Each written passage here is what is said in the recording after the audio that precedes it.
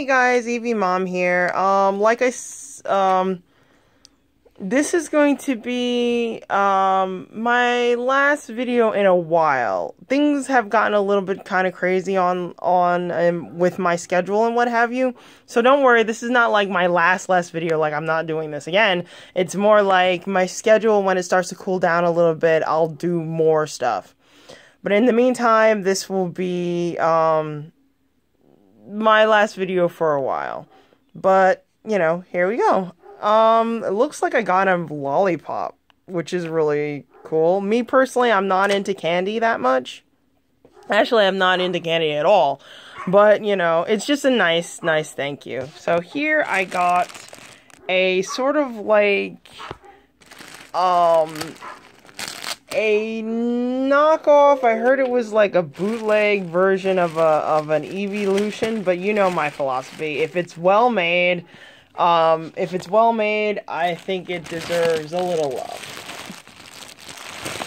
So you know.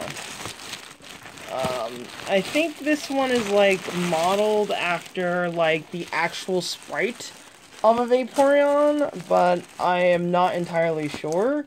You know the sprite. You know the you know the sprites. The sprites from the original uh, Pokemon game. So yeah.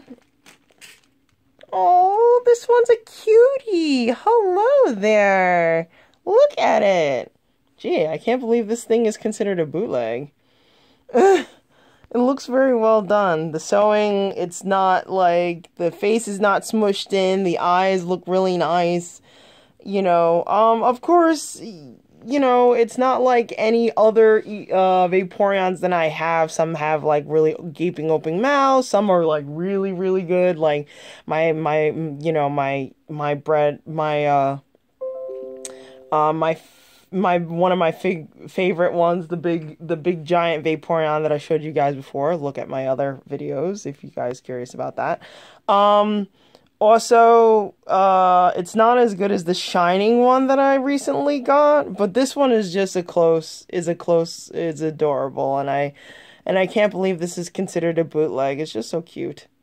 Oh, the tail looks looks a little funny, but still, it's adorable, and this is some, you know, one of the many babies that I will now have. um, so yeah, uh but if you guys have any questions or you guys want to be want to see some of my other plushie unboxings that I've done, you guys can always check me out on YouTube uh, at under K Sapphire 8989. That's capital K S A P P H I R E 8989. Um, of course, I have a couple of other sites too, but you know. So, yeah. Well, I think that's about it for a while, alright, guys?